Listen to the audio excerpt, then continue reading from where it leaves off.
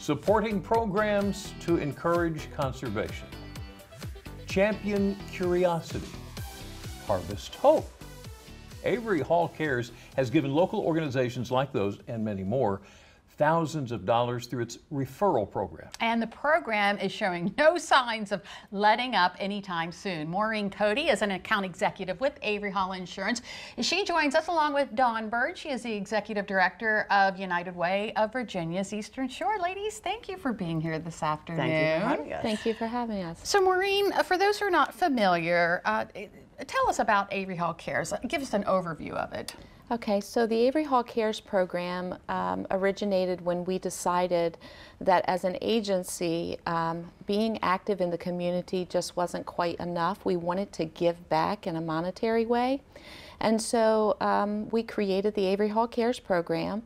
I can't tell you how many thousands of dollars we have contributed um, to the community, but what I can tell you is each recipient that has received a check has always been very grateful. Um, this program is one in which you spread the, the news. You tell your friends and your neighbors um, to call Avery Hall Insurance for a quote.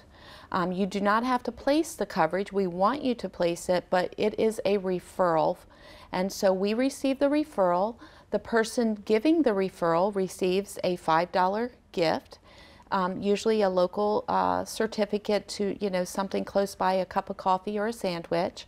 And then $5 goes into our um, Avery Hall Cares recipient. So it is the nonprofit for the quarter um, that we have selected. And then so $5 goes towards, uh, we call it the bank. Mm -hmm. Okay, so $5 goes in the bank for every single referral. Um, and in this case, I think it's just over 280 referrals received. And so that totals up to that check over a little over 1400 and again that goes to a nonprofit organization that we represent and um, they have been selected for that particular quarter. That is fantastic. So wonderful. Okay, so the, the referral spotlight partner for the last quarter of 2022 was the United Way of Virginia's Eastern Shore. Yes, sir. and we were very fortunate. But I have to tell you, she doesn't just this is not the only time Avery Hall has helped us. Yeah. Because actually Maureen was the campaign chair for 2021 and she made over gold. They've also been sponsors, mm -hmm. which helps because we are so small that we try to keep and we try to keep our our admin fees very very small. Right. So sponsorships help pay for materials or whatever you might need to yeah. make an operation work. And they've been very, very kind at helping us for the last few years as a gold sponsor. So tell us a little bit more about the United Way of Virginia's Eastern Shore. The United Way of Virginia's Eastern Shore is a bit different than many because usually you have a big organization and you have uh, lots of moving parts and some of a lot of them have their own programs. We do not have any of our own programs. We only support the nonprofits on the Eastern Shore because they're already doing such a great job with their programs. Yeah. So, and we only have a part-time person. That is me. so, you know, I can only do but so much. Mm -hmm. um, but still, you know, the, when you when they when they started this in 1991, and they looked at what was already available on the shore, what people were already working from the, for the people on the Eastern Shore, and they didn't really felt feel like they needed to reinvent the wheel. They just needed to wait, find a way to make money for them so we can give it away right. to help pay for their program so they can do, are not worrying about fundraising themselves. So we do fundraising for them a lot. So basically, if I understood what you just said, you are the United Way of Virginia's Eastern Shore. Well, so, so I, I really wouldn't say that. yeah, no, way too humble to say something like that, but I, I, then I would assume that these funds came in quite handy. Oh, very handy, very handy.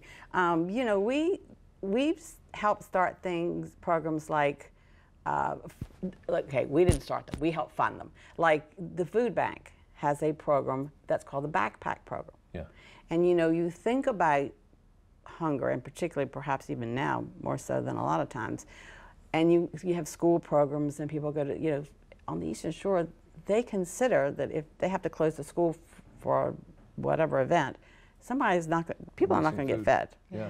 But they started, the food bank started a program that you, they give you food that you take home on the weekend. So you can have, uh, there's food available because there might not be if they're not in school. Right. That's one of the programs. We helped start, um, we gave funds to help start the shelter for the SPCA. Um, we've certainly been supporting Meals on Wheels forever. Uh, Head Start, which is huge.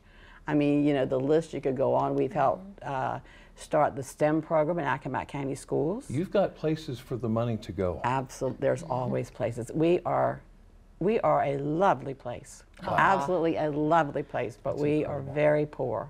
Yeah. I mean, you know, if you look at the Virginia statistics, um, the average household on the Eastern Shore of Virginia makes uh, $42,000 a year, and the average for Virginia is 72. Um, our working poor is 35%, meaning people that don't qualify under the poverty level, but are working, and if any one thing doesn't work, Right. they can fall in trouble. below that. Well, we are so thankful that uh, we have you, the United Way, Eastern Shore of Virginia, and Maureen. We are so thankful Thank for you. Avery Hall Cares. Thank, Thank you you. both for coming in this afternoon.